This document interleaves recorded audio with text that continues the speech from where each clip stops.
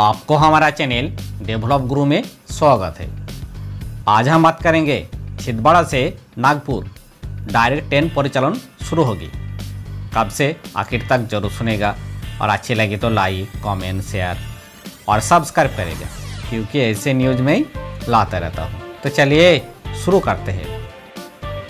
दक्षिण पूर्व मध्य railway Nagpur division के अंतर्गत छिंदवाड़ा से नागपुर रेल परियोजना में अंतिम खंड भंडारकुंड से भीमलगोंदी रेलमा का निरीक्षण करने 12 अगस्त को कोलकाता से commission of railway safety CRS आएँगे।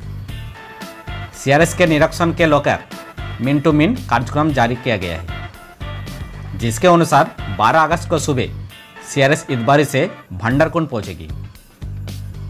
इस दिन सुबह 9 से दोपहर डेढ़ बजे तक वो मोटर टली से भंडारकुंड से भीमालगंज के बीच किए गए गेज कॉर्पोरेशन के कार्य का जाँच करेगी।